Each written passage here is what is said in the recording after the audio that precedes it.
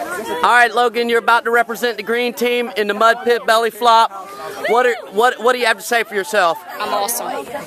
Rock on. Okay. She said, she said Where's my other uh, Jake Calvert? You're about to represent the green team in the belly flop. What do you have to say for yourself? It's gonna be floptastic.